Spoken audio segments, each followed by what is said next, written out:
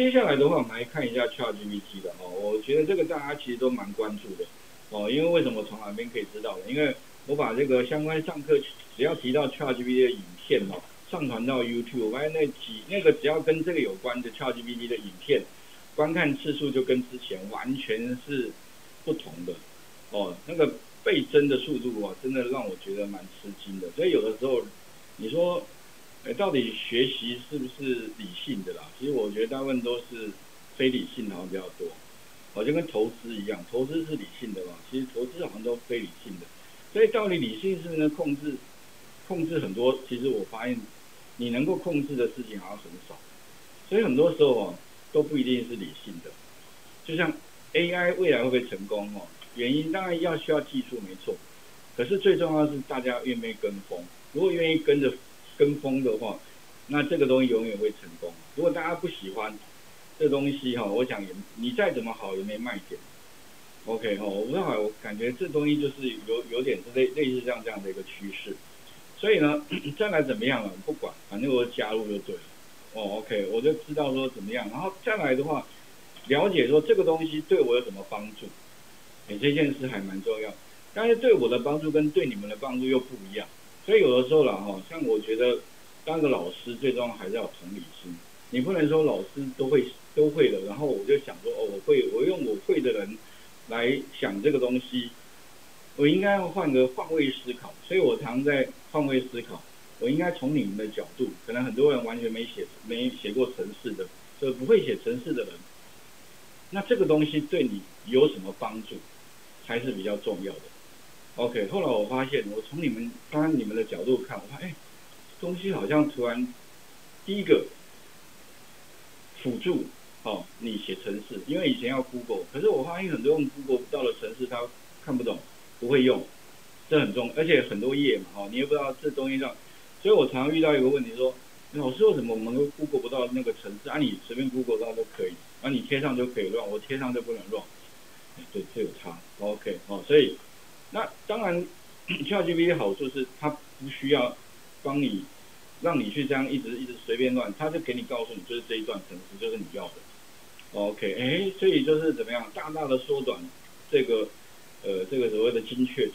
OK，所以以前的 Google 不是不好，只是说呢哈，用它的人一定要很很有基础，甚至要很聪明，对，不然的话没办法看到答案。那 GPT 就比较没这个问题，哎，突然间怎么样，帮你缩小范围，对不对哈？第二个的话呢哈，它其实呃指引你一个捷径。以前的话你要写程式有没有？你可能还要学很多东西，你才有办法得到那个答案。但是现在它直接告诉你这样做就好了。比如说我们后面会提到怎么 Python 怎么结合 Excel，哎，这件事情哦，不要说初学者了。对一个进阶的人来说，也是一个大问题，因为两个是不同的体系的一个呃产品，那怎么把它结合在一起？啊，当然哈，我后来发现，哎，本来要花很多力气的，突然间有 GPT，真好，好像感觉有叶配的嫌疑，啊，没有没有收他任何钱哈，OK，啊，因为我后来发现他真的就给我一个答案了，那其实我在哪边？呃，有稍微分享一下吧，你会发现，呃，你们如果要找一下云端上面哦，云端白板，啊，其实我就整理出一些那个 Python 处理 Excel 的一个单元哦，啊，其中的话各位可以看到，网络上我有找了一个这个表哦，也就是说你要处理 Python 处理 Excel 试算表的相关模组啊，其实有至少这边有列二四六七个。然后它能够做每一个其实都不太一样，那至于选哪一个比较好好，OK，哎，这个就是重点了。啊，最后啦，当然最常被用到就最下面那个 Pandas，可是 Pandas 有它的缺点，什么缺点？真的处理起来真的还颇麻烦的。为什么？因为它其实要下很多参数，哦，然后还有第一件事最麻烦，就是一定要把它的资料转换成 data frame。这个所谓的 data frame 就是它自己定义出来的。一个格式哦，OK，那这个 data frame 还必须要给它三个东西，如果没有给它三个参数的话，它就没有办法帮你转换成 Excel，所以是它我觉得不好操作。那有没有更简单的方法？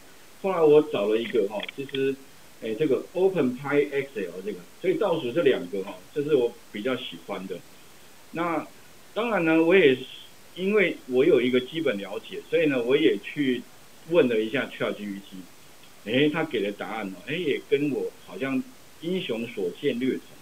所以呢，我就利用这样的方式哦，把它给我的城市，然后再加以精简，得到的就是我们其实哎蛮好用的一个结果了。我所以我觉得整个这个体验哦，其实是还蛮不错的。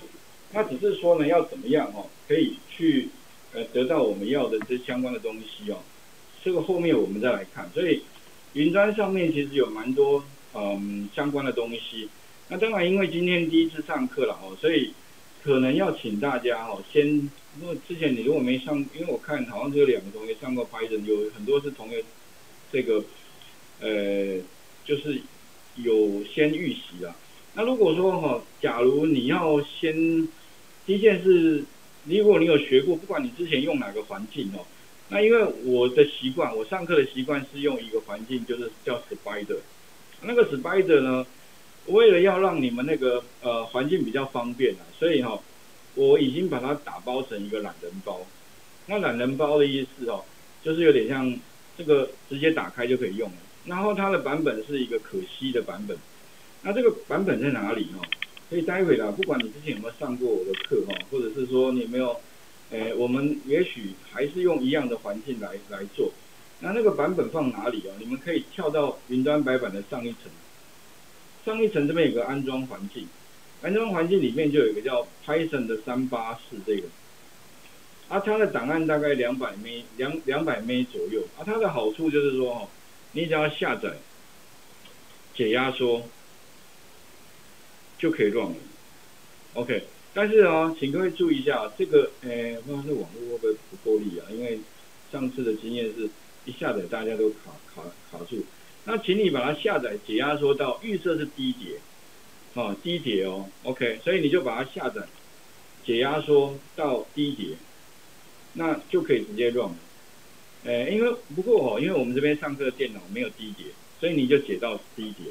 但是 C 碟的话呢，哈，你必须要更改它预设目录哦，OK，就是要把那个路径稍微改一下。那我就直接把它解解压缩，记得哈，诶，因为。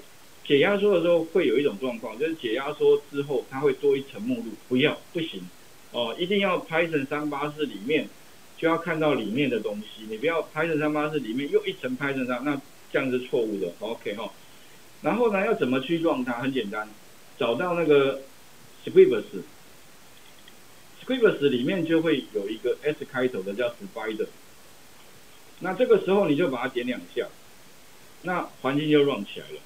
这样就可以开始写程式。我是觉得这个方法哦，倒是还蛮容易的哦，我蛮喜欢像这样开发环境。所以如果哦那个微软有那个 Visual Studio 哦，也可以是可惜版。然后呢，点两下打开来的话，这样反蛮方便的。不然的话，每次都要光要装它的东西，我都装了半天。然后它一装，它装了一大堆东西，都都不知道装了什么哦。另外的话，它乱起来也非常的耗资源。然后又耗硬碟空间，这真的是非常不环保了。OK 哦，如果以那个软体热色里，我不知道它装了什么东西热色在你的电脑里，你要把它全部移掉，还是一个大麻烦。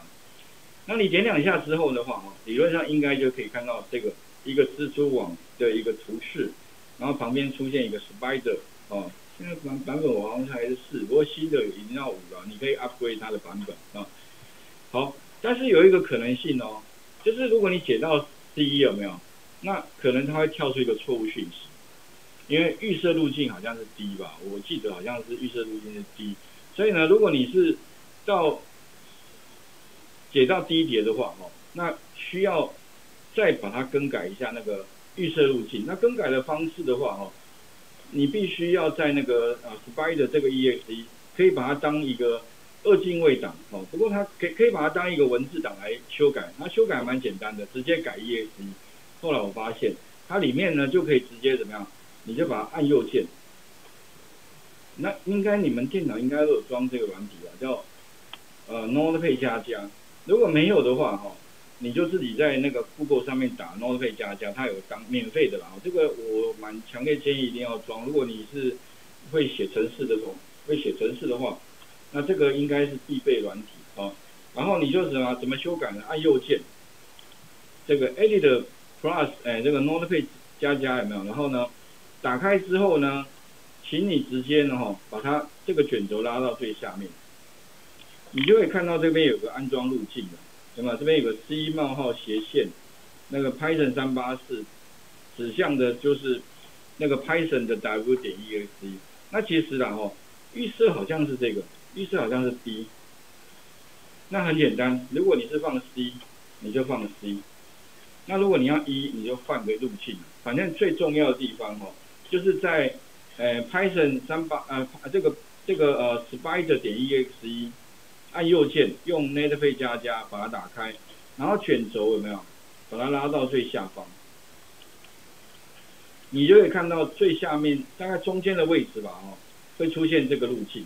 那你就把它修改完之后存档，关闭就好了。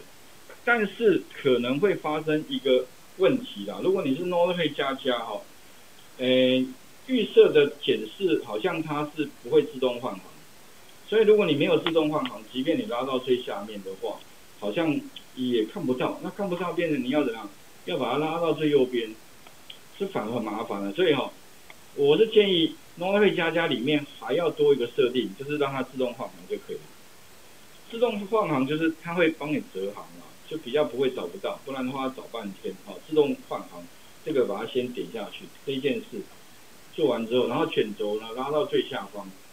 这边就会出现路径，有没有？那直接把这个路径哈做一个修改，哎，这样就 OK 了。哦，把那个本来我不确定那个预设好像记得是在 D 啦，所以你如果解到 D，打开这个地方是不用设定的。但是如果你是解到不是 D，可能在像我们这边只有 C，那你就把它改成 C，然后直接存档，哦，这样就 OK 了。哦，有没有？我把它改回来。假设啊，我改成 D 好了。哦，这个是一定是错误。如果改成 D 哦，诶，存档嘛，然后打开应该会出现这个错误，有没有？它会出现什么呢？它没有办法，有没有？Create 这个哈，然后所以会出现。假设如果你出现这个错误哦，记得按右键，好，然后 Edit 这个呃 Notepad 加加。哦，啊，那弄杯加加可能自己要装一下哦，理论上应该都有哦。然后就记得哦，确定有没有自动化有。第二件事情的话，把这个卷轴拉到最下方，然后改一下这个路径，把它改成 C 就好了。哦，不过不一定不是一一定都改 C 的，你要确认你放在哪个路径哦。还有记得哦，一定是一层目录就好，不要两层，因为之前有同学是解压缩之后发现。Python 三八四里面还有 Python 三八四，那一定也找不到这个执行档。OK，然后把它 save，这样就搞定了。哦，也就是说了，把这 exe 当成是一个呃一个文件来编辑的。哦，OK，那也 OK，没问题。哦，好，那所以第一件事一定要做到这一点，因为如果没有这个环境哦，呃，后面可能要做练习比较麻烦一点。